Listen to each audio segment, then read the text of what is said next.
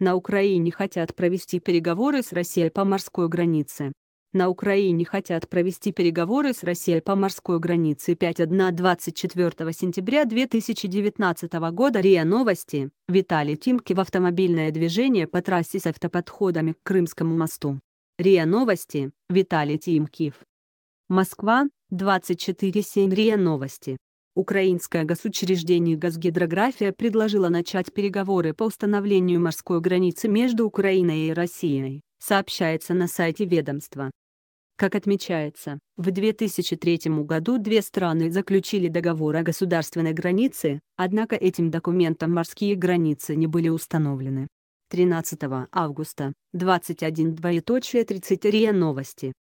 В России оценили план Украины создать режимный район вокруг Крыма.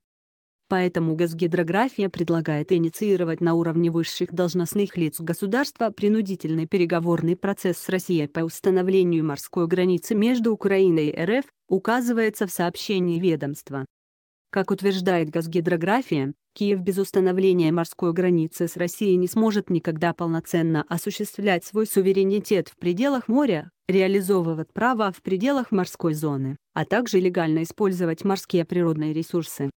Ранее это ведомство заявляло, что намерено инициировать создание морского режимного района вокруг Крымского полуострова, чтобы полностью перекрыть заход во все его порты иностранных и частично российских судов. Мнение юриста. По мнению юриста-международника, почетного адвоката России Валерия Ванина, международный переговорный процесс, в основе которого лежит принуждение, является неперспективным, с точки зрения международного права, поскольку есть соглашение между Россией и Украиной, возможно в рамках этого соглашения ставить какие-то вопросы. Принудительность – это вещь исключенная, пояснил он телеканалу RT.